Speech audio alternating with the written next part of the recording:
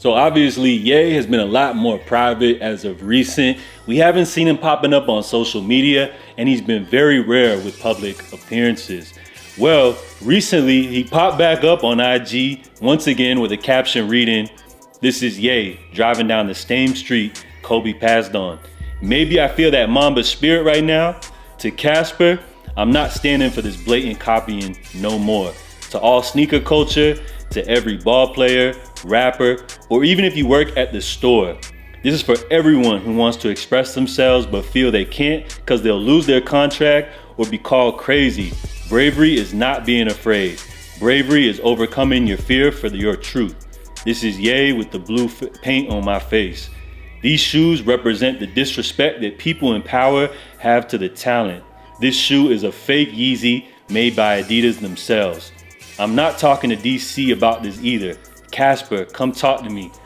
Happy Monday. Now, he's referring to the new uh, Adilette 22 slide, which obviously, most definitely is inspired by the Yeezy slide. Now, this wouldn't be the first time we've seen Adidas do something of this nature.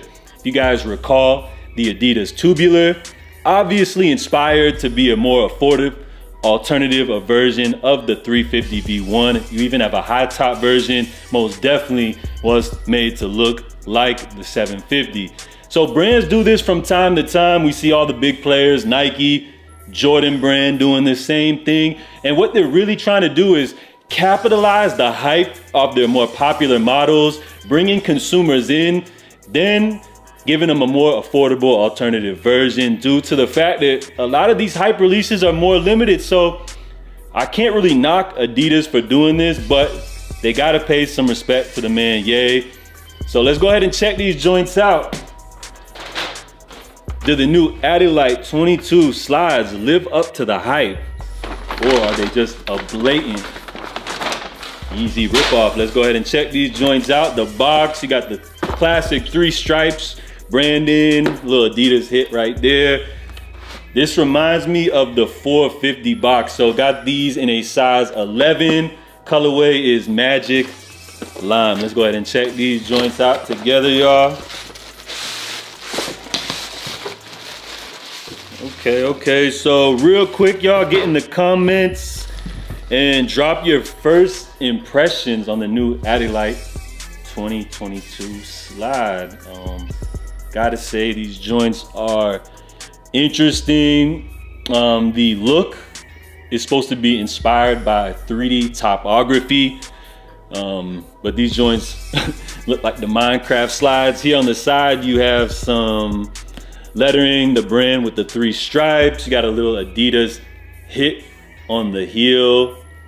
These joints are definitely interesting. On the bottom, kind of look like moon craters. So I'm digging the natural look. When comparing them to Yeezy slides, though, I would say it's a completely different experience. Although the look is there, the sizing and comfort is completely different. In terms of sizing, remember I picked these up in a size 11. When comparing them to the Yeezy Slide, these definitely, I would say, run a little big, but more true to size. So you can actually get these in your proper size. Now, once you get them on feet, the comfort is a completely different experience. One of the highlights of the Yeezy brand is that they are some of the most comfortable footwear models on the market. And when comparing them, it's night and day. These have more of like a tough, harder rubber feel to them versus the Yeezy Slide. When you put them on, you feel that cushion. They're real soft, your feet press into them. Elite level of comfort versus this is just kind of like your standard slide.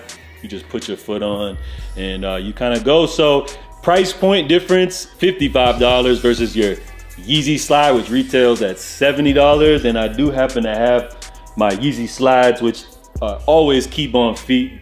So you guys can kind of compare the two as you see these are a lot bigger versus your Yeezy slides. So are the new Adilette 2022 slides a blatant ripoff of the Yeezy slide? Um, I mean, that's some harsh words to say.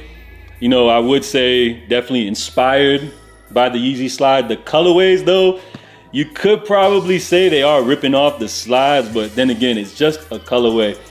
One thing though, I would have to say that these have garnered a lot of attention, you know, almost becoming like a hype release. Um, there is resale value, on these, believe it or not, and I've seen a lot of attention, you know, towards this slide on social media. And I believe that all of the hype, all of the attention brought towards this slide is simply due to the fact that they do definitely resemble the Yeezy slide. And if it wasn't for the Yeezy slide, I feel like there wouldn't really be a huge market or a lot of hype for this particular slide. So once again, you know, our guy Kanye, he might be onto something. You know, I wouldn't go as far as to say it's a blatant ripoff, but as a creator, if you don't voice your opinion, you'll never be heard. So can't knock the man for expressing himself. Now, Ye did originally sign with Adidas, I believe, end of 2015. So his 10-year partnership should be coming to an end in 2026. So what are your thoughts? Do you feel like Ye will re-up with Adidas? If y'all recall, in the past, he has had some conflicts and he wanted to be a part of the board. And he definitely has reason behind that. So you feel like Ye will re-up his contract with Adidas? Do you see him walking, possibly going to another company? Or as a billionaire now, do you see him just going on his complete own venture, making his own footwear and apparel by himself? What are your guys' thoughts about the future of the Yeezy footwear brand? It's a very interesting topic, and if love Kanye or not, he's got people talking. This is a provocative subject, so drop your opinions down below, guys. We're gonna wrap it up. Adidas Adilette 2022 slide, cop or a drop for you, or a blatant Yeezy ripoff. Salute to each and every one of you guys for tuning in. I'm J.A. Stay safe, stay blessed. And I'm out, y'all. Salute.